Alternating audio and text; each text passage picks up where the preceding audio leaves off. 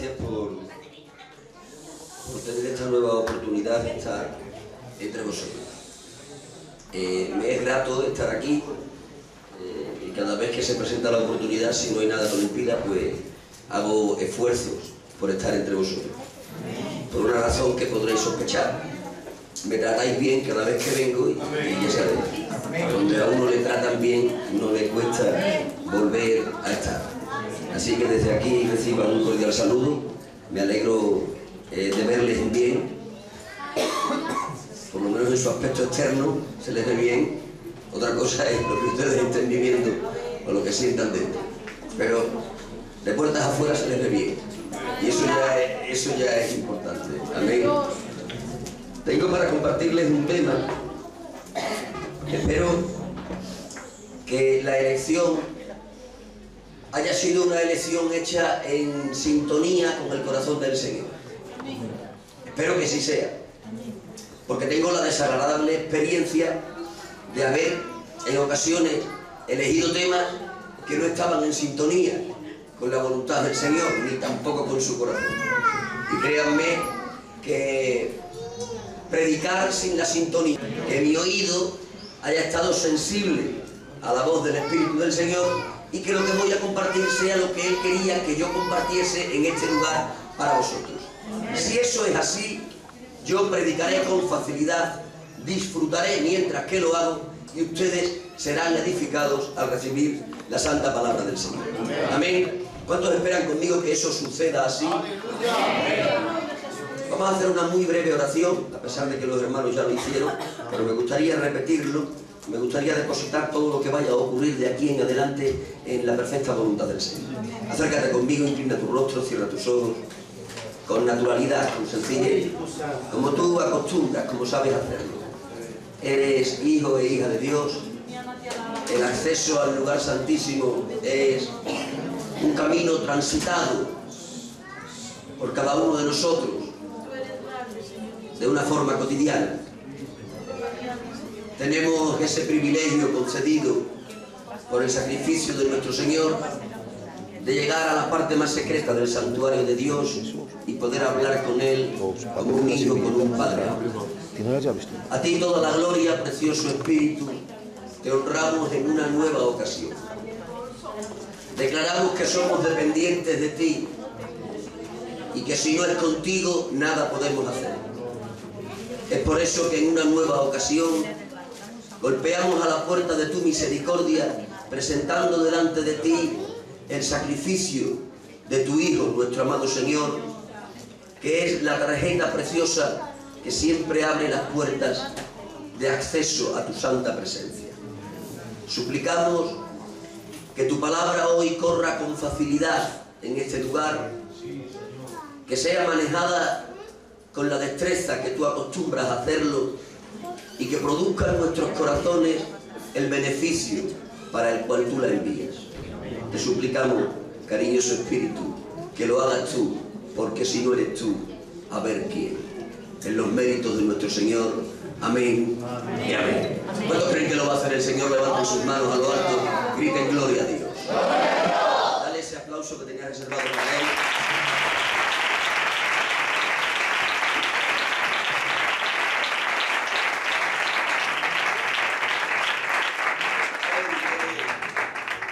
Vengan conmigo a leer en el Evangelio según San Juan, capítulo 20. Vamos a estar leyendo del verso 1 hasta el 13 para después terminar leyendo el Evangelio según San Marcos, capítulo 16, verso 1 al 3. Esos dos textos nos van a dar una panorámica eh, amplia del pasaje del que les quiero predicar. 20 de San Juan, verso 1 en adelante, dice así.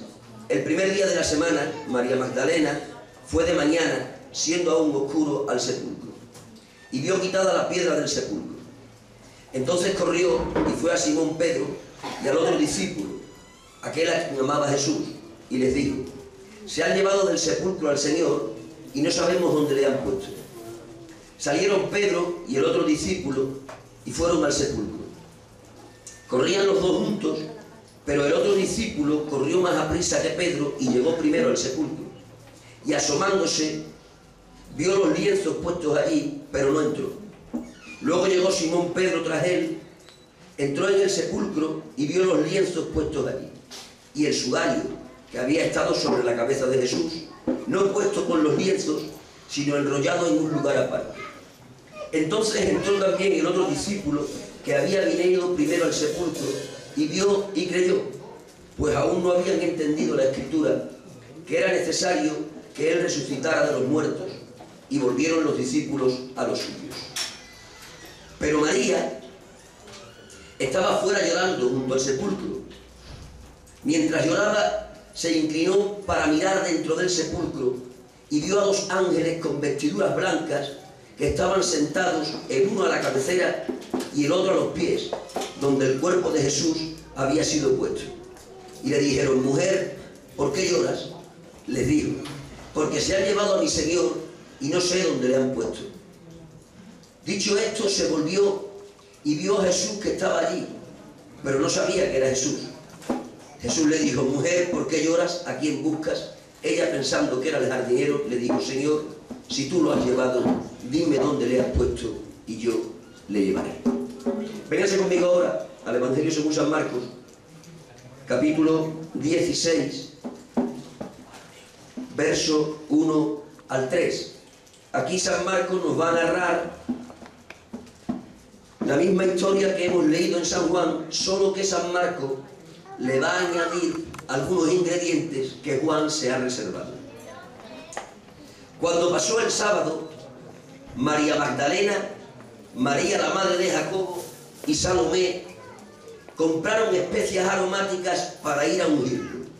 Muy de mañana, el primer día de la semana, vinieron al sepulcro, recién salido el sol, pero decían entre sí, y esto es lo que hay que subrayar, porque esta información Juan se la ha reservado. ¿Quién nos removerá la piedra del sepulcro? ¿Quién nos removerá la piedra del sepulcro? Tengo un mensaje para maduros, para gente que esté dispuesta a aceptar el Evangelio como lo que es. Un camino estrecho, una puerta angosta, una cruz pesada. Un camino lleno de dificultades, tal como lo dijo el Señor, de muchas tribulaciones antes de entrar al reino de Dios. Un mensaje para gente que aun teniendo el corazón en el cielo, son capaces de mantener los pies en el suelo. Es un mensaje para gente que sin abandonar el misticismo siguen viviendo en la practicidad. Para esa clase de gente es el mensaje que yo hoy tengo. Titulé este mensaje y le titulé de la siguiente manera, aprendiendo a caminar a través de las dificultades habrá alguna ocasión en la que, vislumbrando una dificultad en nuestro camino, salgamos corriendo como niños pequeños, nos arrodillaremos a los pies de nuestro Padre Celestial y entre gemidos le pediremos, haz desaparecer la dificultad. Pero ¿saben qué? No se sorprendan si acaso después de rodar el Padre no viene a quitar la dificultad que les estorba.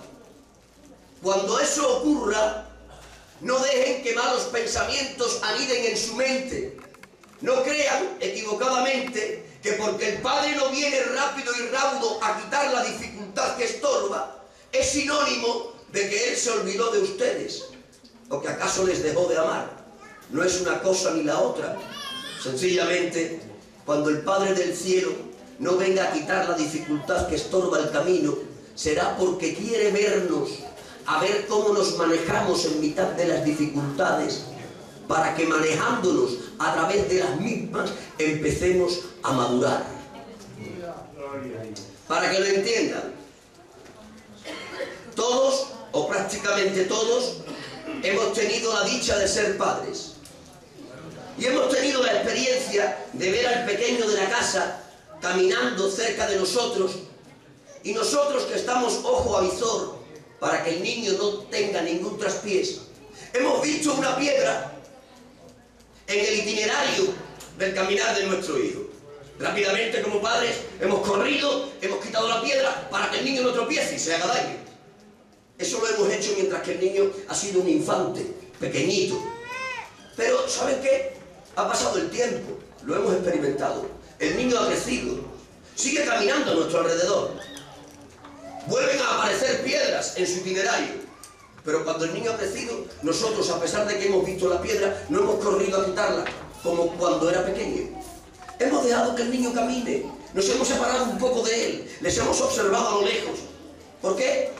Porque como buenos padres, lo que queremos es ver si el niño se ha desarrollado, a ver cómo se maneja en mitad de la dificultad, a ver cómo el niño es capaz de driblar la piedra y no tropezar. ¿Por qué hacemos eso? Porque somos padres que no queremos que ese niño sea siempre un niño pequeño, absolutamente dependiendo de nuestro cuidado. Queremos que se haga hombre maduro y que aprenda a manejarse en mitad de la dificultad de la vida. No, no le hemos dejado a solas porque nos hayamos olvidado de él, ni tampoco porque le hayamos dejado de querer.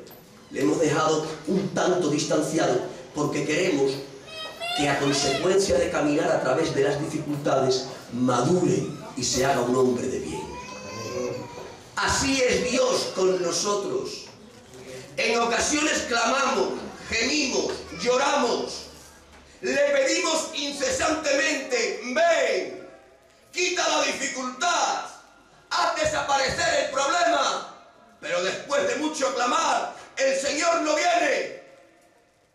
Aparecen los demonios, se posan en nuestro hombro, nos susurran, se olvidó de ti, ha dejado de amarte, es mentira, lo primero y lo segundo. No es que me olvide, no es que no me ame, es que Dios ha creído conveniente que ha llegado el tiempo en el que yo entre en la universidad de la dificultad para que aprenda a madurar en los caminos del Señor. ¿Cuántos entendieron eso? Levanten sus manos, griten gloria a Dios. Entrando en el texto, dice que María Magdalena y dos mujeres más han salido del aposento alto con la intención de ir al sepulcro donde está el cuerpo difunto de su Señor. Llevan especias aromáticas para ungir aquel cuerpo. Van caminando y a mitad de camino, dice Marcos, que se han percatado de que hay una gran dificultad. Entre ellas se han mirado y han dicho, ¿quién nos quitará la piedra? Ellas habían estado el viernes anterior en ese sepulcro, habían sido testigos presenciales de cómo enterraban el cuerpo difunto de su maestro. Habían visto como José de Arimatea y Nicodemo le ungían mal ungido porque el sábado se aproximaba. Pero además de todo eso habían sido testigos presenciales de que tapando la puerta del sepulcro había una piedra circular que pesaba toneladas. Además de eso habían visto como el imperio romano había puesto un sello sobre aquella piedra. Romper un sello del imperio romano era un delito que se pagaba con la muerte. Pero además de eso, habían visto como los romanos, a instancia de los judíos, habían puesto una guardia pretoriana custodiando el sepulcro para que no robasen el cuerpo del maestro. Tres graves dificultades habían visto el viernes anterior. La piedra que pesa toneladas, el sello del imperio cuyo delito se paga con la muerte y la guardia de soldados romanos custodiando al sepulcro. A mitad de camino se han percatado. No son unas inconscientes, movidas por una emoción. Son mujeres que saben hacia dónde van, van al sepulcro, pero a mitad de camino se miran entre ellas y dicen, ¿quién nos removerá la piedra? ¿Quién romperá el sello? ¿Quién burlará a los soldados? Se han percatado de que las dificultades que tienen frente a sí son más grandes que sus capacidades. Se han percatado que no serán capaces de cumplir su cometido porque la dificultad que tienen frente al camino es más grande que lo que ellas pueden salvar. Lo que me sorprende no es que ellas se percaten de la dificultad que tienen frente a sí. Lo que me sorprende es que aún a sabiendas de la dificultad que tienen frente a sí, ellas siguieron caminando. Lo naturalmente lógico hubiese sido que estas tres santas mujeres, al percatarse de la dificultad insalvable, se hubiesen dado media vuelta y hubiesen vuelto al aposento alto del que venían. Eso era lo razonable. Lo hemos intentado, mariquilla. Pero la piedra pesa mucho. Somos mujeres débiles. Romper el sello es sinónimo de muerte.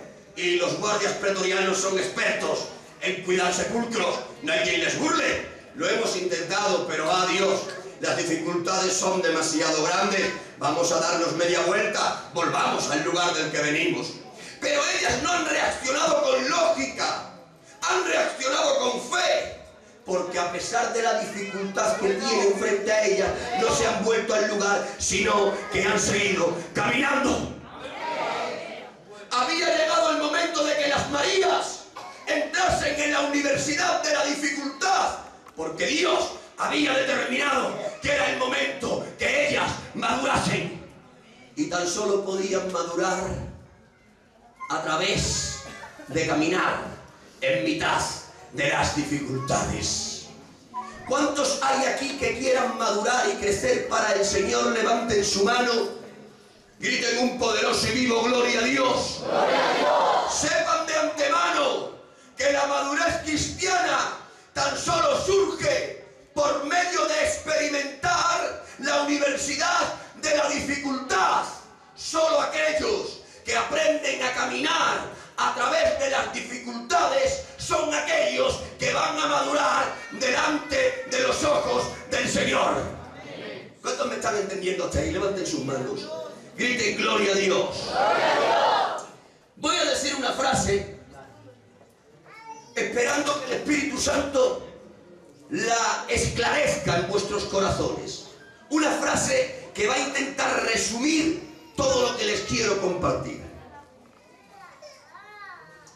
Es más milagroso, vayan captándola, es más milagroso caminar a través de las dificultades sin perder la fe que recibir el toque milagroso de Dios que hace desaparecer la dificultad.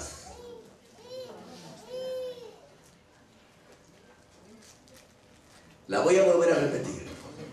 Y luego que la proceses y que el Espíritu Santo te la interprete. Es más milagroso caminar a través de las dificultades sin perder la fe que recibir el toque milagroso de Dios que hace desaparecer la dificultad. Para ilustrarlo y que lo entiendan, veo yo más milagro en la cárcel de San Pablo en Roma que en la cárcel de San Pedro en Jerusalén. Pablo y Pedro han caído presos. Los dos son apóstoles del Cordero no han delinquido, no son merecedores del presidio, pero Satanás les ha perseguido y les ha encarcelado. A Pedro años antes en Jerusalén, a Pablo años después en Roma. En el encarcelamiento de San Pedro, la escritura del libro de los Hechos nos muestra un milagro externo que impresiona a los ojos de aquel que lo ve. Le han metido en la cárcel, le han custodiado con 16 soldados, le han atado de pies y de manos. Y hay una sentencia sobre San Pedro que dice, de que llegue la mañana te separaremos la cabeza del cuerpo.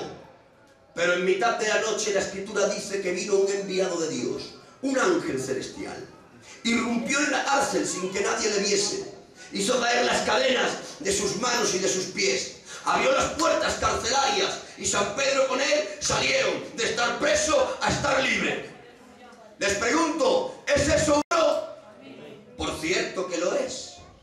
Es un milagro externo que impresiona los ojos de los que le ven. Un emisario celestial ha venido a libertar al apóstol encarcelado. Aquel cuyo destino era la muerte se ha encontrado con la libertad. ¿Por qué? Porque Dios intervino sobrenaturalmente para quitar la piedra de la dificultad que había en su caminar. Pero escuchen bien, más milagro que en este encarcelamiento de San Pedro en Jerusalén veo yo en el encarcelamiento de San Pablo en Roma. También a San Pablo le han encarcelado.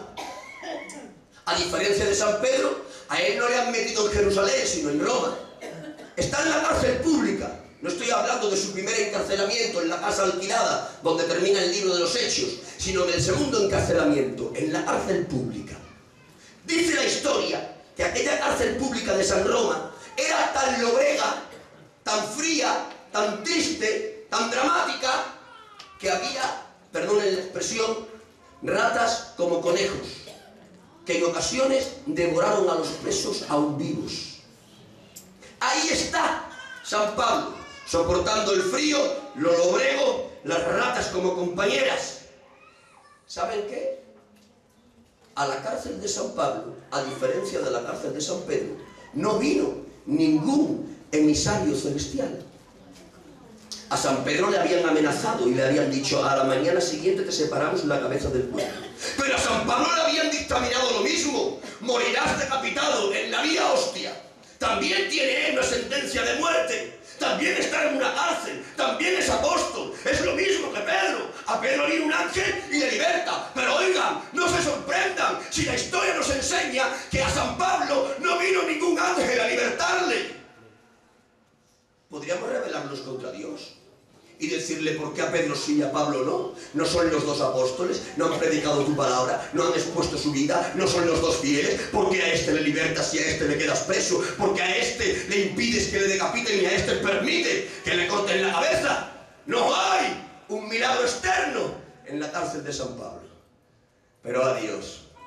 Cuando uno mira la segunda carta a Timoteo que San Pablo escribió mientras que estaba preso, el encarcelamiento de Roma en la cárcel pública.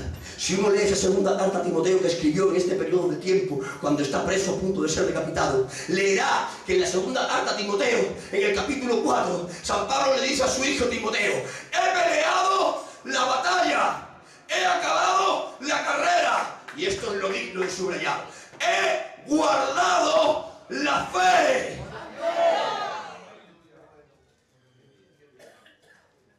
Está en la cárcel de Obrega. Está en la cárcel fría. Le han abandonado sus colaboradores. Por compañera tiene las ratas. Hay una sentencia que le ha dicho te vamos a matar. Pero él no se disgusta con el Señor porque no le haya mandado un ángel como San Pedro. Ha clamado, claro que sí. Pero a diferencia de San Pedro, no ha venido el Señor para quitar la dificultad del camino, la ha dejado ahí. Pero es tan maduro el Pablo que ha sabido driblar las dificultades del camino impidiendo que éstas le roben la fe. Es por eso que dice como un guerrero victorioso, he peleado la batalla, he acabado la carrera, he guardado la fe. Hay más milagros en esta cárcel de San Pablo que en la cárcel de San Pedro. En la cárcel de San Pedro hay un milagro externo que impresiona a los ojos de lo que lo ven. Pero en la cárcel de San Pablo, de, San Pablo hay un milagro interno que nos muestra el crecimiento y la madurez de un corazón. Y es que tengo que decirle, si no me cansaría de hacerlo, que es más milagroso caminar a través de la dificultad sin perder la fe que recibir el toque milagroso de Dios que hace desaparecer la dificultad. Veo más milagro en el foso de José, el hijo de Jacob, que en el foso de Daniel, el profeta de Dios. Es un anciano Daniel, decrépito ya. Por adorar a Dios le han echado en un foso. ¿Quién? Sus enemigos. En el fondo del foso hay fieras salvajes, leones hambrientos. El desenlace parece ser ineludible. Los leones se van a merendar al profeta de Dios. Ha pasado toda la noche El rey Darío ha venido en la mañana temprano, ha preguntado, Daniel, ¿te pudo librar tu Dios? Y Daniel responde, mi Dios mandó su ángel, estuvo conmigo y me libró. Nos desvela las palabras de Daniel que en mitad de aquella madrugada, cuando los leones se disponían a devorarle, apareció un emisario divino, un ángel, tapó la boca de los leones y Daniel durmió bien. Les pregunto, ¿ese es un milagro? Por cierto que es un milagro. Es un milagro externo que impresiona los ojos de aquellos que le ven. Dios vino a quitar la piedra de la dificultad que había en el caminar del anciano profeta. Pero más milagro que en el foso de Daniel veo yo en el foso de José. También a José le han tirado a un foso, sin haber hecho nada para ello. Pero a diferencia de Daniel, a José le han tirado sus hermanos. Miren, yo estoy preparado para enfrentarme a Goliat. Para lo que no estoy preparado es para enfrentarme a Judas. Goliat sé que se va a enfrentar conmigo, que es mi enemigo, pero Judas que come conmigo a la mesa. Es natural que los enemigos se tiren a un foso. Lo que es antinatural es que se tiren al foso tus propios hermanos. Le han tirado sus hermanos de su alma, allá en el foso. Joselito aclamado, Rubén, Jacob, Dan, hermanos, sacadme. Pero han hecho oídos sordos. Han pasado unos amalecitas por allí. Le han vendido como esclavo. De esclavo de los amalecitas ha pasado a esclavo de Potifar. De esclavo de Potifar, por una acusación falsa, ha pasado a ser presidiario. Y de presidiario ha terminado como primer ministro de Egipto. Foso, esclavitud, presidio, primer ministro. Han pasado 20 años. Se ha vuelto a encontrar con sus hermanos. Los hermanos frente a él, él frente a los hermanos. Se ha descubierto. Y cuando los hermanos se han precarado que José, al que vendieron como esclavo para Egipto, se han dicho entre sí nos mata. Se venga. Ha llegado su oportunidad. Pero José le sorprende a ellos y a mí que leo la escritura también. Tranquilos, hermanos. No fuisteis vosotros los que me enviasteis aquí. Fue Dios usando vuestra maldad para ahora preservar vuestras vidas de perecer de hambre. Díganme, ¿cómo es posible que este joven José sea capaz de ver la providencia de Dios en mitad de una esclavitud, en mitad de una cárcel, en mitad de un presidio? ¿Cómo es posible que ni el foso, ni la esclavitud, ni el presidio le han robado la fe para ver la providencia divina? ¿Cómo es posible? Porque en el foso de José no hay un ángel que liberta, no hay un milagro externo que pueden ver nuestros ojos e impresionarnos, pero hay un milagro interno que le ha hecho crecer y madurar en la fe. Tan maduro se ha hecho que no le ha robado la perspectiva de Dios, ni el foso, ni la esclavitud, ni el presidio. La fe no ha visto quién se la quite. Le ha madurado Dios en mitad de la dificultad. Y tan maduro es que cuando tiene oportunidad de vengarse dice, no fuisteis vosotros. Fue la providencia de Dios, usando vuestros males para tener este puesto de gobierno y preservar para que el pueblo de Dios no muera de hambre. Díganme, ¿dónde hay más milagro? ¿En el foso de Daniel o en el foso de José? Indiscutiblemente, queridos hermanos, hay más milagro en el foso de José que en el foso de Daniel. En el de Daniel es un milagro externo, impresiona la vista, un ángel que tapa bocas de leones. Pero en el foso de José no hay un milagro que impresiona, porque es interno.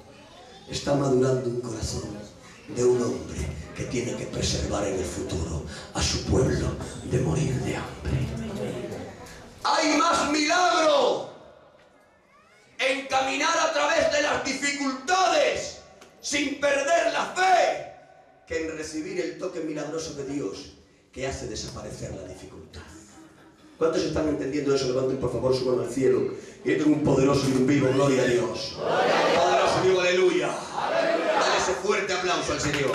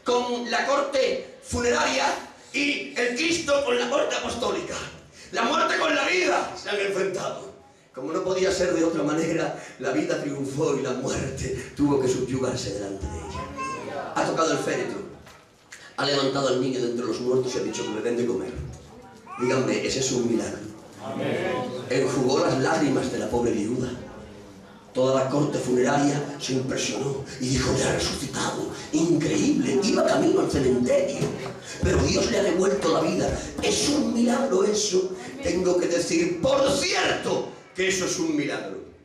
Pero veo más milagro en la experiencia de la viuda anónima de la que les voy a hablar a continuación que en la experiencia de la archiconocida viuda de Naín de la que les acabo de predicar. Conocí a una viuda pastoreando una de las iglesias que Dios me ha permitido pastorear. Me fui a visitarla, a echar un rato con ella. Esta viuda había perdido a su marido también, a una edad joven, pero además de perder a su marido había perdido a tres de sus hijos varones. Dos de ellos por problemas con alcohol y droga y el tercero de ellos porque le mataron y a día de hoy todavía no encontraron al asesino. Además de esto, sus nueras se marcharon y ella tuvo que criar a los hijos de sus hijos. Me fui a visitarla aquel día por echar un rato con ella. Me senté en una silla que tenía uno frente al otro. Unos días antes de esta visita yo había predicado de un tema en la iglesia y el tema era que a Dios hay que amarle por lo que es y no por lo que nos da. Y sentados hablando los dos, me dice ella, pastor, en relación a lo que predicaste el otro día, ¿verdad que yo no sirvo ni sigo al Señor por lo que me da? Porque a mí más que darme me ha quitado. Yo le sigo y le sirvo por lo que es. Había perdido un marido y tres hijos. Había criado cinco o seis nietos. Su vida enterrada en el futuro de sus nietos. Pero ¿saben qué? Cada día venía a los cultos, se sentaba siempre en el mismo lugar, levantaba las manos para adorar, prestaba atención a la palabra de la predicación, compartía sus ofrendas para sufragar los gastos de la iglesia y sin hacer ruido se marchaba cada día a su casa. ¿Dónde hay más milagro? En la viuda de Naín que recibe a un hijo después de la muerte, o en esta que no se queja delante de Dios y le sigue adorando a pesar de haber perdido un marido y a tres hijos. Me creo que hay más milagro en esta segunda que en la primera. En la primera hay un milagro externo que impresiona los ojos, pero en la segunda hay un milagro interno que impresiona al corazón. Y es que tengo que volver a decirlo. Hay más milagro en caminar a través de las dificultades sin perder la fe que en recibir el toque milagroso de Dios que hace desaparecer la dificultad. ¿Cuántos han entendido eso? Levanten sus dos manos a lo alto. y tengo un poderosísimo y vivo, gloria a Dios. Poderosísimo y vivo, aleluya. No te dejes engañar. Por ese evangelio rebajado que algunos predican. aquí todo y después el cielo. No podemos tener escaseces económicas, no podemos tener enfermedades. Dios es rico y además tiene sanidad divina. Eso dicen algunos. Es un evangelio rebajado. Cuando las dificultades aparezcan y te canses de gemir delante del Señor y el Señor no venga a hacerlas desaparecer, que nadie te equivoque. No es que se olvidó de ti, no es que ha dejado de quererte, es que ha decidido que ha llegado el tiempo de que aprendas a caminar a través de las dificultades para que crezcas en madurez.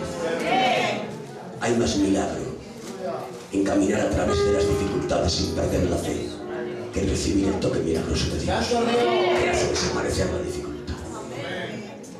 ¿Cuántos quieren aquí madurar? Levanten sus manos a los cielos den un poderoso y vivo gloria a Dios. Volviendo al texto que nos ocupa. Las altas mujeres dicen que han salido muy de mañana siendo aún oscuro, han dejado el aposento alto y se han dirigido hacia el sepulcro. Es digna de alabar la obra de estas tres santas mujeres. La obra que están realizando implicaba riesgo de muerte. ¿Saben por qué los apóstoles estaban con las ventanas y las puertas cerradas?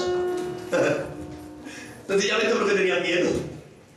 El viernes anterior acababan de matar a su maestro y ellos, para sus adentros, decían, ventanas y puertas cerradas, oremos en bajito, que no nos escuche, no sea que nos hagan correr la misma suerte que nuestro maestro.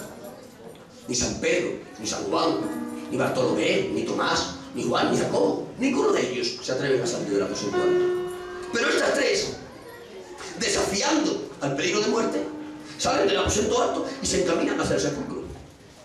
Encaminarse al sepulcro del crucificado era anunciar públicamente yo soy discípulo de él.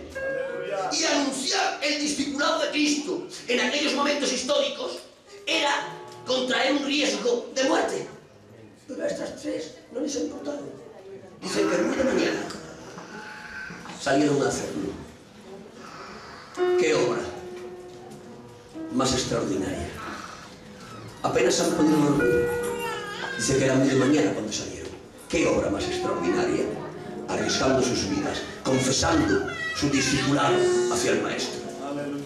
Pero si la obra es digna de elogio, la intención de esta obra es más digna de elogiar aunque la obra misma. La obra es arriesgar la vida confesando que eran discípulas de Él. Pero la intención de la obra, dice la Escritura, que era ungir el cuerpo difunto de su Señor. Dios con mi vida. ¿Por qué ungir el cuerpo difunto de su Señor? Sencillamente, porque en el viernes anterior ellas se habían percatado de que José de Arimatea y Nicodemo no habían ungido bien el cuerpo. Ya saben, detrás del viernes viene el sábado José de Arimatea y Nicodemo son judíos, tienen que guardar el sábado. En el sábado no se puede hacer absolutamente nada, ni tan siquiera la acción misericordiosa de ungir a un difunto. Como se acerca el sábado, el Señor muere a las 3 de la tarde, es el viernes, le están ungiendo rápidamente, es decir, le han mal ungido. Ellas le han visto que le han mal ungido y saben que esa unción no es válida, que esa unción hay que volver a repetirla. ¿Por qué se empeñan en repetirla con riesgo de su vida? Porque ellas son conscientes de que un cuerpo difunto, mal ungido, se corrompe con facilidad. ellas sabían que la solución para que el cuerpo no se corrompiese con facilidad ni con celeridad era ungirlo bien. La unción frena la corrupción. Ellas no han podido dormir, ni el viernes ni el sábado. Dice la escritura que muy de mañana, siendo aún oscuro, eso nos da a entender que han estado intranquilas, apenas han comido bien, apenas han descansado bien, están pensando en el cuerpo de su Señor, se va a corromper con facilidad, va a estar menos tiempo del preciso, manteniéndose incorrupto, ese cuerpo necesita aceite, ese cuerpo necesita unción. En cuanto ha llegado la mañana del domingo, que la ley les permite, han salido rápidas y raudas a ungirlo. ¿Para qué? Para impedir la corrupción. ¿Saben ustedes que el cuerpo místico de Cristo es la iglesia? ¿Saben qué necesita la iglesia para que no se corrompa con facilidad? La unción. Hay algunos que se equivocan y dicen la iglesia funcionará cuando tengamos un buen templo. No es verdad. Hay otros que dicen la iglesia funcionará cuando tengamos un gran equipo de obreros. No es verdad. La iglesia funcionará cuando tengamos un buen conjunto de música. No es verdad. Funcionará la iglesia cuando tengamos un gran predicador. Tampoco es verdad. La iglesia no se corromperá y empezará a funcionar cuando tenga la unción. Es la unción la que frena la corrupción y trae la vida. Estas tres santas mujeres, conociendo la ley de la corrupción, salen rápidas y raudas a ungirlo. ¿Para qué? Para que no se corrompa. Yo ruego a Dios en esta tarde que el Espíritu de las Marías nos bautice a nosotros y que perdamos las ganas de dormir, de descansar y de comer. ¿Para qué? Para traer a la iglesia un poquito de aceite, un poquito de unción que impida la corrupción de la misma. Pero te hago una pregunta a tu conciencia. ¿Qué aportas tú a la iglesia? ¿Aportas un poquito de unción que impide la corrupción? ¿O por el contrario aportas un chisme, una crítica? aportas el pecadillo de por la mañana donde estafas en el mercadillo para ganarte 10 euros ¿Qué aportas? Fingir una enfermedad fraudulenta para cobrar del seguro lo que te puede dar. ¿Qué aportas? Presentar nóminas falsas para que te den un piso que no mereces porque realmente ese trabajo no lo estás desempeñando. ¿Qué estás aportando tú a la iglesia? La corrupción en la iglesia va rápida y rauda. Predico con libertad aquí que me conocéis. La corrupción va rápida y rauda en la iglesia. Y la queremos disfrazar. Queremos tapar la corrupción con vestidos, con los vestidos de la música alta, con los vestidos de los mensajes del detalle, con los vestidos de tener un templo nuevo. Nada eso va a frenar la corrupción. La corrupción se frena trayendo un poquito de unción. Quiera Dios y todos los presentes nos preocupemos, nos desvelemos y perdamos el apetito por traer un poco de aceite echemos sobre el cuerpo de la iglesia para frenar la corrupción que la está matando. Y los que entiendan eso levanten sus manos, griten un poderoso y un vivo gloria a Dios. ¡Gloria a Dios! Poderoso y vivo aleluya. ¡Aleluya! Han llegado María Magdalena y sus dos compañeras al sepulcro y se han encontrado con la piedra quitada. La dificultad que no temieron, quédense con este detalle, la dificultad que no temieron apareció desapareciendo sin que ellas hiciesen nada. A mitad de camino dicen, ¿quién nos removerá la piedra? Pero no se amedrantan, sino que siguen andando. Manifiestan la fe en seguir caminando y cuando llegan al sitio la dificultad ha desaparecido como por arte de magia. Está quitada la piedra del sepulcro. Se asoman y el cuerpo difunto del Señor no está. de disgusto. Rápidamente María Magdalena manda a las dos a que vayan a buscar a Pedro y a Juan y que les notifiquen lo que acaban de ver. Alguien ha hurtado el cuerpo difunto del Señor. Pedro y Juan, de que reciben la noticia, superan sus miedos y dice la escritura en el verso 3 y 4 que corriendo Pedro y corriendo Juan se encaminan al sepulcro. Pero claro, Juan es mucho más joven que Pedro y siendo más joven tiene más agilidad, corre más a prisa que San Pedro. San Pedro es mayor y tiene que correr con más tranquilidad. Pero escuchen el detalle. Ha llegado Juan antes, que es más rápido, pero llegando antes dice que se ha quedado a la puerta del sepulcro. Tras de él ha llegado Pedro, que es más lento, pero en vez de quedarse en la puerta del sepulcro, ha entrado hasta dentro del mismo. Juan el rápido se queda en la puerta, pero Pedro el profundo entra hasta dentro. ¿Qué ha visto Juan el rápido en la puerta? Dice la escritura que Juan el rápido en la puerta ha visto lienzos. Pero Pedro el profundo, dentro, ha visto lienzos, pero también ha visto el sudario. Los lienzos representan al cuerpo, porque los lienzos eran las vendas que amortajaban desde lo que era el cuello hasta los pies del cuerpo del difunto. El sudario, por su contra, eran las vendas que amortajaban al cuerpo difunto del cuello hacia arriba, es decir, la cabeza. Juan el rápido llegando a la puerta, tan solo ve lienzos, cuerpo. Pero Pedro el profundo, entrando dentro, ve lienzos, cuerpo, pero también sudario, cabeza. El rápido conoce el cuerpo, que es la iglesia, pero el profundo conoce el cuerpo, que es la iglesia, y también a la cabeza del mismo, que es nuestro Señor Jesucristo. Dios no está buscando rápidos, está buscando profundos. Hay demasiados rápidos, pero por desgracia hay pocos profundos. Hay muchos que conocen el organigrama de la iglesia, a qué hora es el culto, a qué hora es la oración, cuándo hay que decir amén, cuándo hay que echar en la ofrenda, conocen hasta el pasaje del que va a predicar el pastor, pero es lo que conocen, el organigrama de la iglesia. Pero pregúntale después por la intimidad con el Señor y la desconocen por completo. Son rápidos, sí, pero no profundos. Conocen lienzos, pero no saben nada del sudario. Pero Dios no está buscando rápidos que conozcan la iglesia. Dios está buscando profundos que además de conocer la iglesia, conozcan al Señor de ella. No lo dice la ley de la naturaleza. Hay muchos que quieren crecer demasiado rápido. Hoy aparecen y se convierten y si quieren estar tocando el órgano o quieren estar ensayando de candidatos o quieren ser hombres prominentes o mujeres en la congregación con los que se cuenten. Quieren ser demasiado rápidos. Pero el apóstol San Pablo, conociendo que la rapidez no era buena consejera, le escribe a su hijo Timoteo y dice, no vayas a levantar a ningún neófito para el ministerio, no sea que envaneciendo se caiga en condenación del diablo.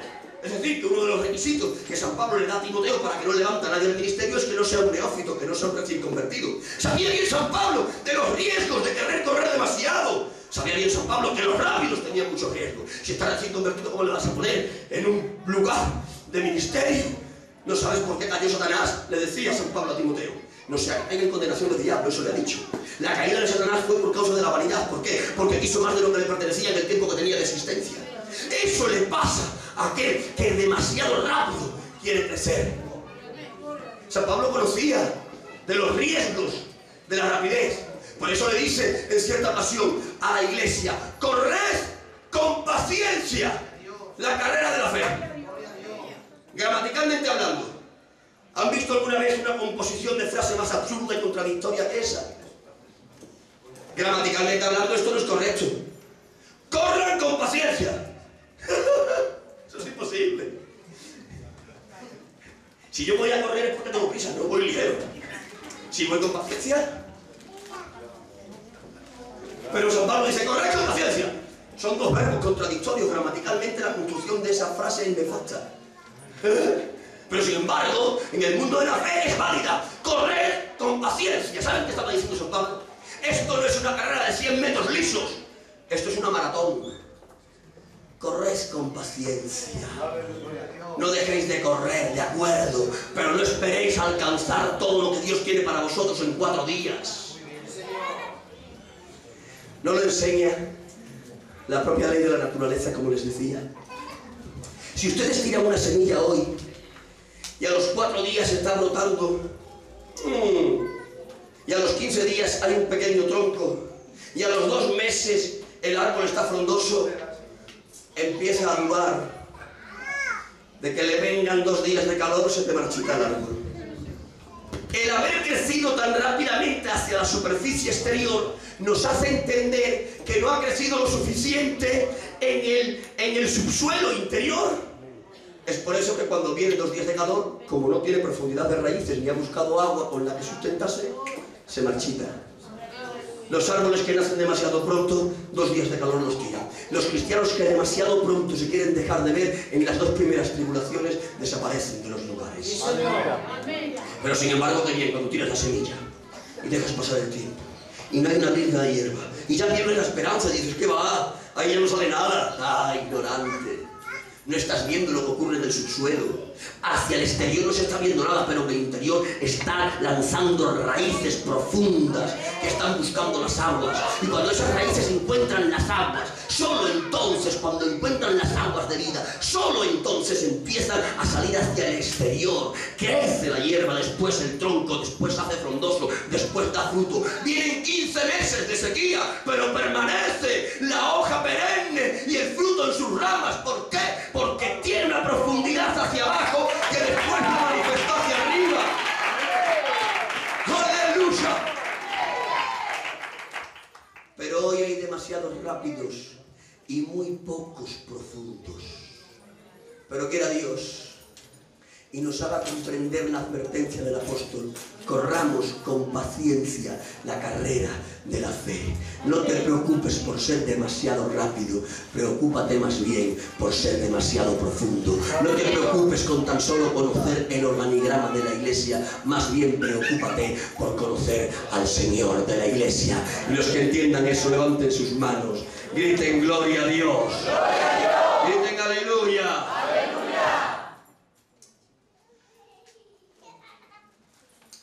Juan lo ha hecho mal, ha sido demasiado rápido, se ha quedado en la puerta. Y claro, en la puerta tan solo ha visto lienzos. ¿De acuerdo? Lo ha hecho mal. Él tenía que haber corrido con paciencia, haber entrado dentro y haber visto los lienzos y también a su marido. Pero lo ha hecho mal. Pero yo le voy a sacar una virtud, ¿vale? Es que a mí Juan me cae simpático. Cada vez que hablo mal de él, pues siempre tengo que sacar una virtud para después no quedar mal con él, no sea que me lo encuentre en el cielo me diga, oye, que siempre predicas de mí y me ponías como los pinos. Entonces, le voy a sacar una virtud al mal de San Juan. Ha llegado rápido y raudo, se ha quedado a la puerta, pero dice el texto, dice el texto que vio lienzos. ¿Pero qué tuvo que hacer para ver lienzos? El texto dice que inclinándose vio lienzos. Ah, para ver se tuvo que inclinar. Déjenme decirlo una frase, a ver si lo pillan. En el reino de Dios, en el reino de Dios, para ver hay que previamente inclinarse. Nadie en este reino va a ver manteniéndose iniesto. Para ver en este reino hay que doblegarse. ¿Saben qué significa doblegarse? ¿Saben qué significa agacharse? Escenificando. Sacando una interpretación de la escenificación. Inclinarse no es otra cosa que un gesto de humillación. Solo los humildes serán capaces de ver en el reino invisible del Señor. No hay ni tan siquiera uno que siendo orgulloso pueda ver el reino de Dios. El orgullo es un obstáculo insalvable para poder percibir lo que ocurre en el reino invisible de nuestro Dios. Para ver en este reino invisible hace falta imprescindiblemente humillarse. ¿Cuántos quieren ser humildes? ¡Ay, qué poquitos! Lo voy a decir de otra manera. ¿Cuántos quieren ver en el reino de Dios? Tendrán que ser humildes. Ahora, ¿cuántos quieren ser humildes? Griten amén. Amén. No saben lo que pidieron. Para ser humildes hay que experimentar la escuela de la humillación.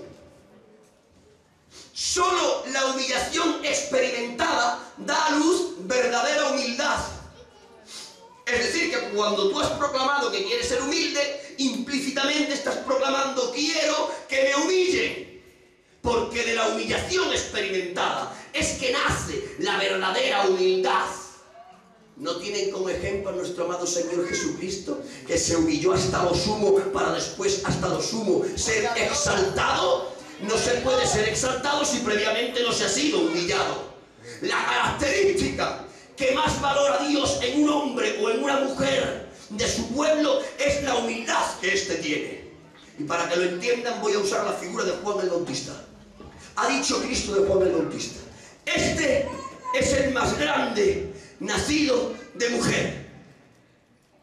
Ese es el más grande, Señor. Sí, sí, sí. No hay profeta más grande que este. Eso ha dicho Cristo. Pero ¿cómo que este es el más grande de los profetas? ¿Es que no te acuerdas tú de Isaías? ¿Es que no te acuerdas de Elías? Seguro que por no nombrarte a ningún otro, Jesús, Isaías y Elías fueron más grandes que él. Jesús si me tuviese que preguntar por qué, yo tendría argumentos para responderle a Jesús. Le diría, Isaías es más grande que Juan porque fue capaz de predecir tus días. Fue capaz de predecir con exactitud en el capítulo 53 cómo iba a ser tu muerte. ¿Qué forma de predecir tiene Isaías? Pero ¿dónde están las predicciones de Juan el Bautista? Ni una predicción hay de Juan el Bautista. ¿Dónde están sus grandes predicciones? Comparadas con las de Isaías, son como predicciones de niños pequeños comparadas con hombres mayores. Pero ¿qué me dice Señor de Elías?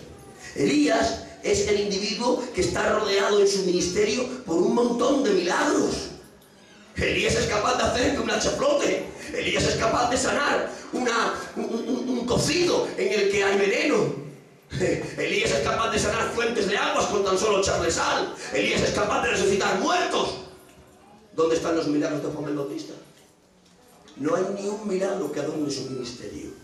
¿Cómo es posible entonces que Jesús diga, Juan el Bautista es el más grande de todos los profetas? ¿Qué dices? Para revelación Isaías, para milagros Elías. Uno u otro pueden ser más grandes que Juan. Sin embargo, el Señor mantiene lo dicho. Juan es el más grande de todos los profetas. Incluso que Isaías con todas sus revelaciones e incluso que Elías con todos sus milagros. ¿Por qué dice eso? Porque Juan tiene una característica, una virtud que la había desarrollado muchísimo más que Isaías y que Elías. Y era la virtud de la humildad. Era más humilde Juan el Bautista que Isaías, era más humilde Juan el Bautista que Elías. Y como Dios valora más la humildad que los milagros, como valora más la humildad que las predicciones, dice, este es el más grande de todos los profetas. ¿Dónde encontramos la humildad de Juan el Bautista? La humildad de Juan el Bautista la encontramos en el hecho de que él es sacerdote. Su padre era sacerdote.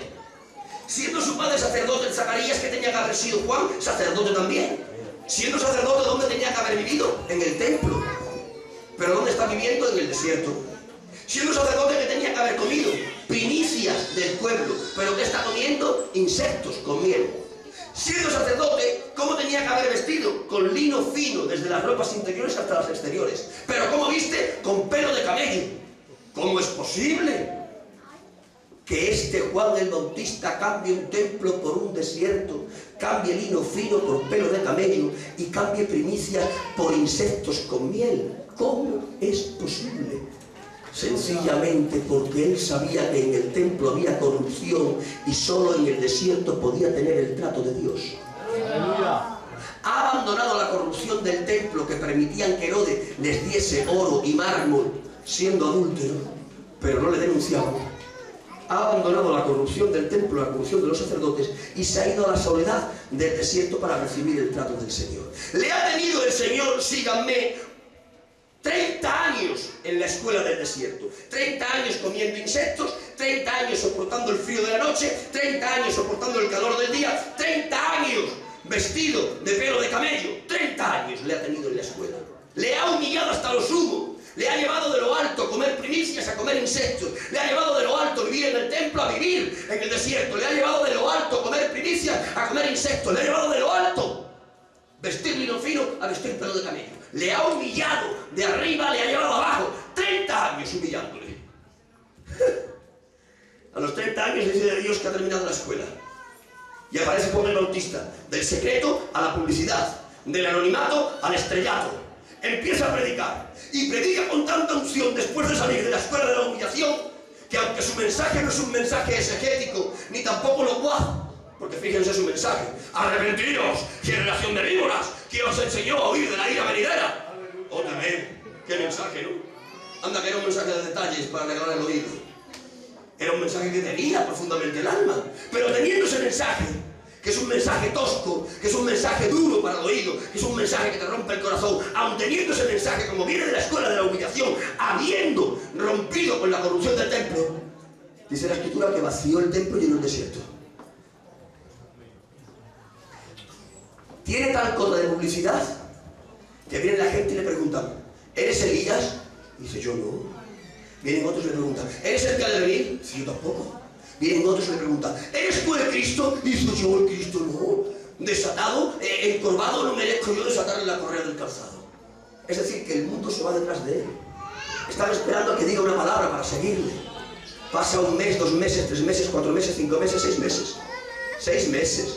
Cuando está en la cúspide del estrellato, a los seis meses, aparece en el horizonte nuestro amado Señor Jesucristo. Ya le vale al Señor también, ¿no? O sea, 30 años de escuela de humillación para seis meses de publicidad. Para ser equitativo le tenía que haber dado por lo menos 15 años de publicidad por 30 años de anonimato, ¿no? Pero a los seis meses, simplemente a los seis meses, aparece el Señor. ¿Y qué dice Juan? He ahí el Cordero de Dios que quita el pecado del mundo, es necesario que yo mengüe para que Él crezca. Y se va de la escena del púlpito y le deja el púlpito al Señor. Digo yo, ¿qué clase de humildad no tenía este? Que cuando está en el estrellato, después de 30 años de dura escuela, se aparta, no tiene afán de protagonismo, es tan humilde. ¿Pero por qué es tan humilde? Porque lleva 30 años soportando humillaciones. Por eso Jesucristo dice, este es el más grande. Es más grande este en su humildad que Isaías en sus predicciones. Es más grande este en su humildad que Elías en sus milagros. Porque si hay algo que Dios valora por encima de los dones, son los frutos. Hacer milagros y tener predicciones son dones, pero ser humilde es fruto. ¿Lo entienden o no? Juan el apóstol dice que se inclinó y inclinándose vio. Hay muchos que quieren ver en el reino y no ven. ¿Saben por qué? Porque no son humildes. ¿Y saben por qué no son humildes? Porque nunca se han prestado a la escuela de la humillación. Hay hombres con dones, pero no ven, aunque tienen dones. ¿Por qué? Porque no se humillan. Querido hermano, si quieres ver algo en el reino del Señor, si quieres comprender, necesitarás pasar por la escuela de la humillación, porque la humillación experimentada dará a luz la humildad verdadera. Y solo desde la humildad uno puede estar viendo. ¿Cuántos quieren ver en esta tarde? Levantan sus manos, gritan gloria a Dios. Griten aleluya. Fuerte aplauso para el Señor.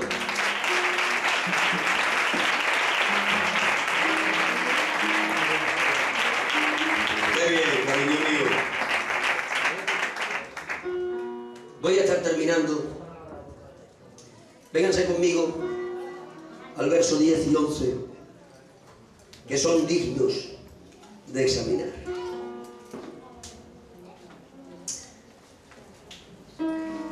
Y volvieron los discípulos a los suyos.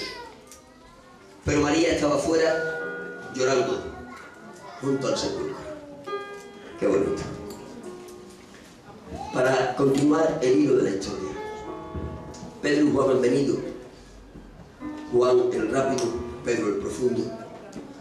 Han visto lienzos sudados, han buscado por allí cerca han dicho, pues es verdad María no, no está, se la habrán llevado. y habiendo hecho una búsqueda tan insuficiente, dice el texto, y volvieron los discípulos a los suyos. Déjenme escenificarlo. Han mirado, no, está, se, la han llevado. O nosotros nos vamos, porque, porque no está. Y se han ido. Pero el verso 11 dice, pero María estaba fuera llorando. Pedro y Juan, junto con María, han perdido lo mismo. Pedro y Juan han perdido el cuerpo del Señor y María ha perdido el cuerpo del Señor. Han perdido los dos lo mismo. Pero qué distintas reacciones han tenido, ¿verdad? Pedro y Juan ante la pérdida dicen, nos volvemos a la aposento alta. No está.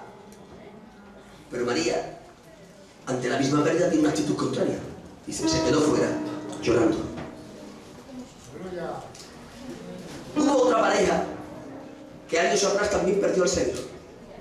Les hablo de José el carpintero y de María Miguel. Perdieron al Señor cuando era niño. 72 horas, 3 días, le han perdido. Cuando le han perdido se han mirado uno al otro. José, ¿y el niño? Dice, pues eh, estaba contigo y conmigo no. Dice, pues está con familiares. Se han ido a buscar. Es que no está con familiares. Ahí miren a José y a María. Han perdido el encargo de Dios, el niño Jesús. Dice la escritura, en José y María se han vuelto hacia atrás a Jerusalén. Estos no se han ido a su casa ni se han quedado llorando. Estos se han vuelto y han estado tres días sin dormir, sin comer, desalentados, con el corazón palpitando, la lengua fuera, y a los tres días, después de una ardua búsqueda, le han encontrado. Vengan conmigo, que lo van a entender ahora. Los tres grupos han perdido lo mismo, el Señor. Al Señor ha perdido María, al Señor han perdido Pedro y Juan, y al Señor ha perdido María Virgen y José Carpintero. Todos han perdido lo mismo. Pero tienen tres distintas reacciones ante una misma pérdida. Juan dicen, no está, ya está chacho, si no está, ¿qué vamos a hacer? Vamos casa. Hay algunos que pierden cosas en el Señor y hacen así, buscan un poquito y dicen, bueno, pues, si no lo podemos encontrar, se ha perdido, pues, vámonos, vámonos, vámonos a gradiero, vámonos a hacer nómina falsa, vámonos a fingir.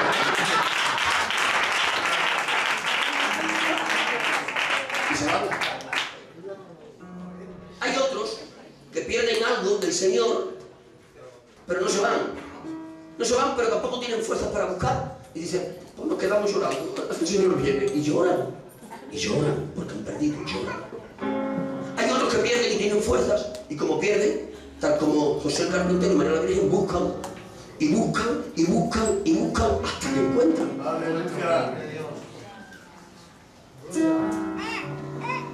Yo no sé lo que habrás perdido tú del Señor, Qué bueno, qué bueno.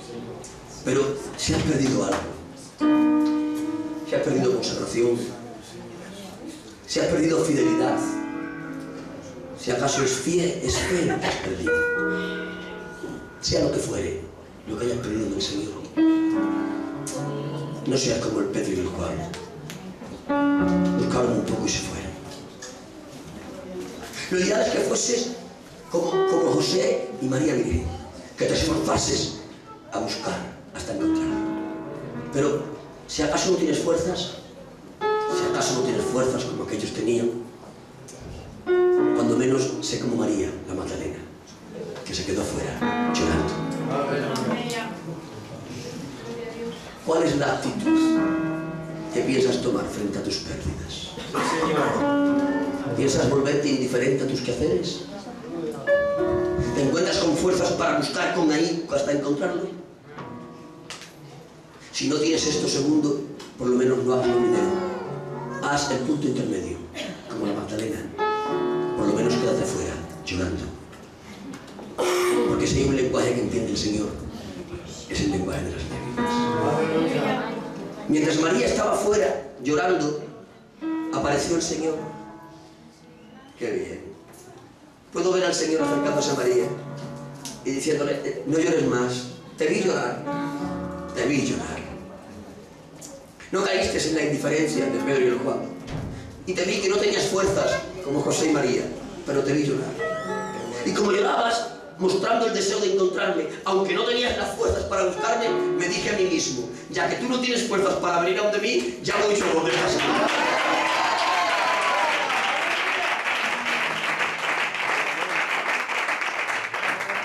Si no tienes fuerzas para recuperar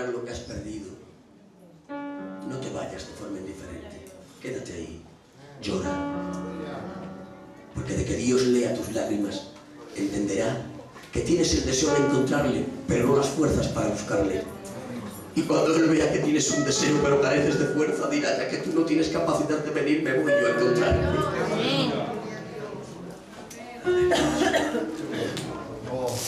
alabanza. Gloria a Dios. Porque queridos hermanos, para terminar, lo que Dios no tolera es la indiferencia. Dios soporta la debilidad, la entiende. Dios sabe que no todos somos José y María, que se desviven por recuperar lo que han perdido tres días sin comer, sin beber, desalentados. Sabe que no todos tenemos esa fuerza. Y eso lo entiende el Señor, y eso entiende nuestras debilidades. Lo que no comprende Dios es nuestra indiferencia.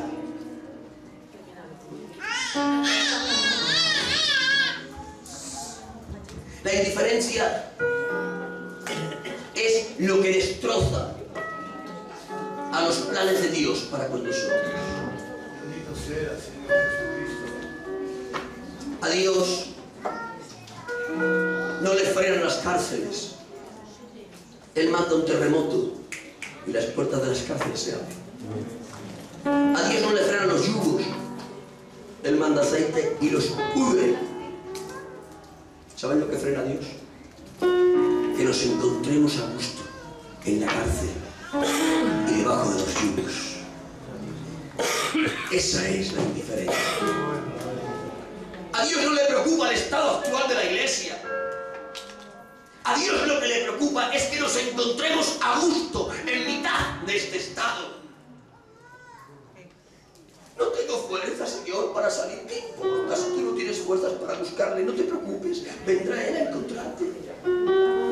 Lo que no va a tolerar es tu indiferencia. Lo que Él no va a tolerar es que te abra la puerta de la cárcel y aun con la puerta abierta tú digas, no, si es que estoy bien en la cárcel. Porque este es el problema de la iglesia actual. El problema no es la cárcel en la que vivimos ni el yugo bajo el cual estamos. El problema es que nos encontramos a gusto en la cárcel en la cual vivimos y a gusto estamos bajo el yugo que soportamos. Para ilustrarlo y terminar. 42.360. Ese es el número que da en Esdras en el capítulo 2. Ese es el número de los que volvieron del cautiverio babilónico. 42.360. Es un número irrisorio. Es una cifra demasiado menguada. Eran muchos más los judíos que había en Babilonia, pero tan solo han regresado 42.360. ¿Dónde estaban los demás? Se encontraban a gustos en el cautiverio babilónico.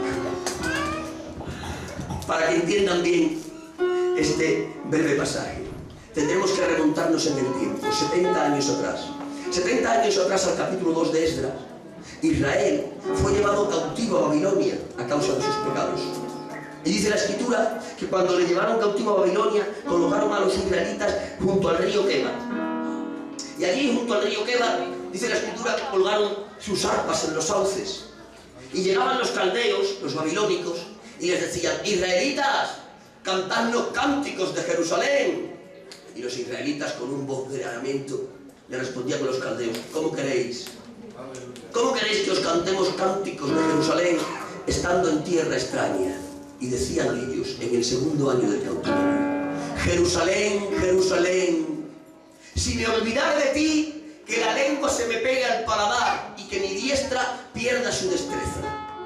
Traduciéndolo, ellos decían en el segundo año de cautiverio, si me olvido de ti, Jerusalén, si me olvido de tus asuntos, Señor, mudo y manco me quede.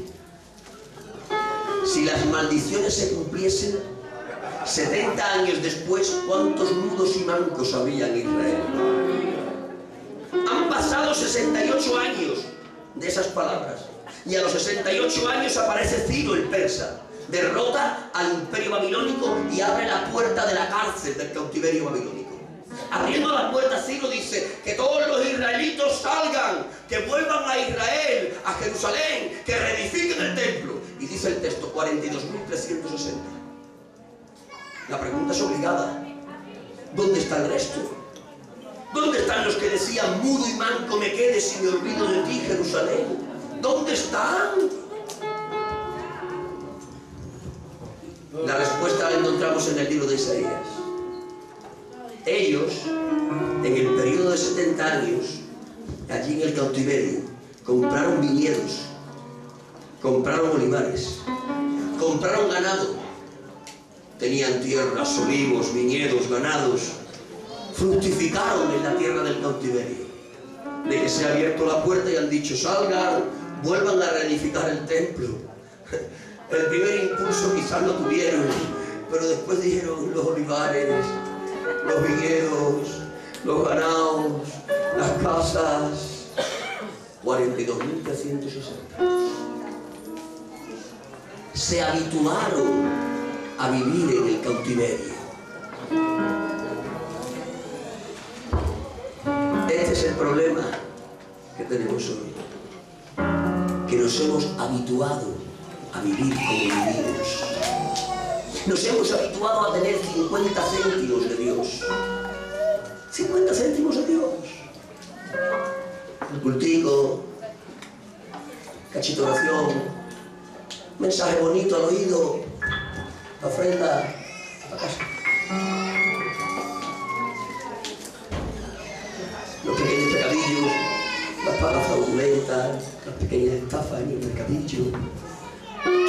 Las envidias, las rencillas que las seguimos manteniendo y justificándolas con nuestra cultura gitana. Pero al culto, a la ofrenda, al mensaje, a la música. Nos hemos habituado. Viene la libertad y decimos, estamos bien donde estamos. Estamos en la actitud de Pedro y Juan. Han perdido al Señor, pero se van al aposento alto. Se han acostumbrado al aposento alto. No tenemos fuerzas como los José y la María para buscar lo que hemos perdido. Pero una vez más te digo esta tarde, si no tienes fuerzas como José y la María, a lo menos no seas indiferente como el Pedro y Juan. Cuando menos, haz como la María Magdalena, quédate sentado, llorando. Porque tus lágrimas mandarán un mensaje a Dios. Y desde el cielo dirá, no teniendo fuerzas para tú encontrarme, me acerco yo para ti. Terminamos. Se apareció el Señor a María Magdalena. Pero antes de aparecerse hay algo que llama la atención y hay que compartirlo. Dice la escritura que María Magdalena, estando llorando, ha mirado al sepulcro y dice en el verso 12 que ha visto dos ángeles. Uno a los pies de donde estaba el cuerpo difunto del Señor y otro en la cabeza. Y dice que mirando, ha mirado, ha visto los dos ángeles y dice el texto, y siguió llorando. Esto es increíble. Yo no sé si a ustedes les parece increíble. Ahí está María Magdalena llorando porque ha perdido al Señor. Está llorando, no tiene fuerza para ir a buscarlo, pero está llorando. Se niega a irse. No, yo no me voy, yo lloro. Pedro y Juan, vete, que no me voy, me quedo aquí llorando. No tengo fuerza para buscarlo, pero aquí llorando. Y en mitad de su tristeza, de sus lágrimas, mira al sepulcro y ve dos ángeles, dos ángeles. Yo no he visto un ángel en mi vida. Todas las mañanas, de nuevo al Señor que vino orando, todas las mañanas, hago unos paseos por las mañanas y en mitad del paseo voy hablando con el Señor. Los señores que me ven se piensan que estoy dirilón, que se cambian de cero cuando me ven ya. Porque me ven así, y dicen, este no está bueno y se cambian de cero cuando me ven. Y, y yo, y dice, es verdad, es verdad. Y, y yo al Señor, al Señor todas las mañanas le digo, mándame un ángel por aquí, por este paseo, que quiero hablar con un ángel, hombre. O ven tú, pero vamos, tú no puedes venir porque estoy ocupado. O mándame a Javier, o mándame. Es verdad, digo. Es verdad. El día que me lo mande, que yo sé que me lo va a mandar, el día que me lo mande, me pondré un cartel aquí adelante, otro cartel aquí atrás y diré, yo, el loro, he visto un ángel. Y me pasearé por todo abajo anunciando lo que he hecho. Pero María Magdalena está llorando por su Señor. No tiene fuerza para buscarlo, pero se niega a irse. No tiene fuerza para buscarlo, pero no cae en la indiferencia. Está ahí llorando, esperando que el Señor venga porque ella no tiene fuerzas para ir. Y estando ahí llorando, mira, ve los ángeles. Y dice la escritura, y sigue llorando. No se inmuta, ha visto los ángeles.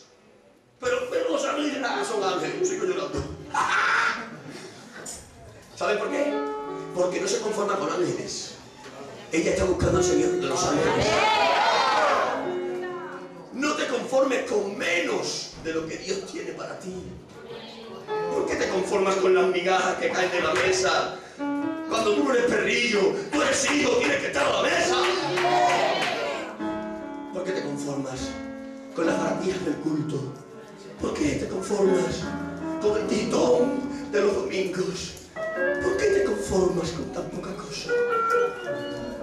Esta sabe lo que está buscando. Por eso que ve ángeles ah, son ángeles. A seguir llorando, hasta que no venga el Señor no dejo de llorar. No te conformes con menos lo que el Señor tiene para ti. No te conformes con el pedacito del culto. No te conformes con los 10 minutos de oración. No te conformes. Hay amplitudes mucho más grandes. Sigue llorando hasta que el Señor te conceda lo que te tiene reservado. Y los que entiendan eso, levanten sus manos, griten gloria a Dios. Inclina tus rostros, cierra tus ojos.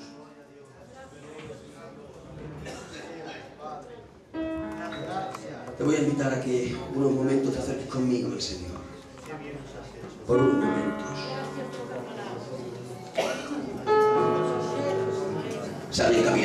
Aposento alto hasta el sepulcro del Señor. No les han importado las dificultades. Ellas han seguido caminando. han ingresado a la universidad de Dios. La universidad de la dificultad, que les va a dar el título de la madurez. Mm, Dios mío. Aprendiendo a vivir en mitad del mareaje de la vida, sin perder el norte de la brújula del Señor. Madurando. Shazaba soste pende de crones. Drindra para trastro de trisque viene que per mi ben me soas. Shayaba da drosque. No son de los rápidos que se quedan a la puerta, son de los profundos que entran hasta dentro.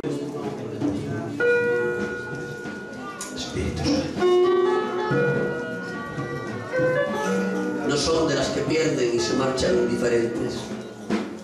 Quizás están débiles y no tienen para buscar, pero se sientan y lloran hasta que el Señor las encuentre. Ah, Padre, Dios está buscando un pueblo de maduros, de hombres y de mujeres, que quieran madurar por experimentar la escuela de la dificultad. Sigue tocando esa música. Una luz más tenue, una luz más tenue, van a ser un par de minutos, tres no más.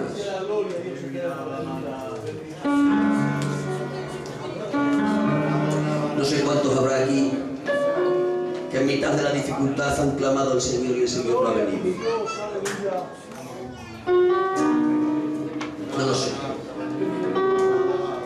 No sé cuántos puede haber aquí.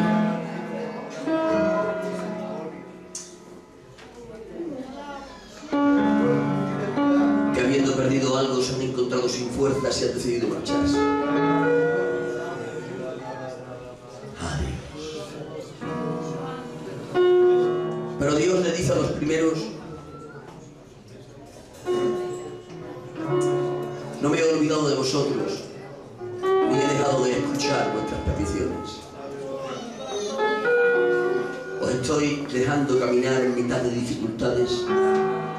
para que de la escuela de la dificultad obtengáis el título de la madurez.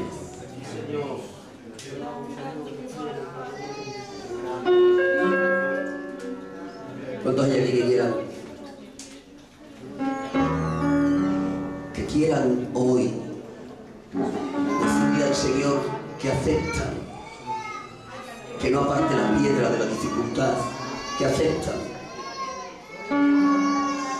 El Señor no atienda sus ruegos, porque se comprometen a recibir, aunque les cueste, el título de la madurez. ¿Cuántos hay aquí que decírselo al Señor? Pónganse en pies. Son aquellos que, que después de clamar no hayan encontrado la respuesta. Tengo una palabra para ti.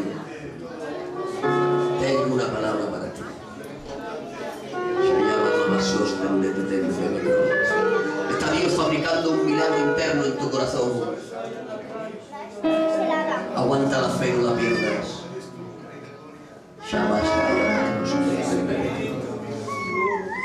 Te ruego, mi alma, precioso Espíritu, sobre todos aquellos que se levantaron, que clamaron y tú no respondiste, que pidieron y la piedra permaneció frente a ellos. Te ruega mi alma, Jesús, que la luz de tu palabra ilumine sus mentes, que tú les hagas comprender que no es olvido por tu parte ni tampoco es la bendita escuela de la dificultad que les dará el título mayor. Yo los bendigo en esta tarde, Jesús. Proclamo que el milagro interno que estás haciendo en sus corazones va a redundar en beneficio de tu obra y para la gloria tuya. Y yo declaro en esta tarde hecho por Cristo Señor. Tomen asiento. Quisiera acercarme a preguntar ahora a aquellos que perdieron algo que se sienten sin fuerzas para buscar y recuperarlo, que están optando por la indiferencia, por habituarse a vivir con lo perdido. hora quiero llamarte a, a que si no tienes fuerza no caigas en la indiferencia. Que si perdiste algo, cuando menos llores. Para lo que tú no puedes ir a buscar, el Señor te lo trae. ¿Cuántos hay en esa condición? ¿Cuántos hay aquí que perdieron algo? Que perdieron oración, que perdieron consagración, que perdieron fidelidad, que perdieron fe. Ponte en pie. Si hay aquí personas que perdieron algo, pónganse en pies. Los que perdieron algo en el transitar de su camino con Dios.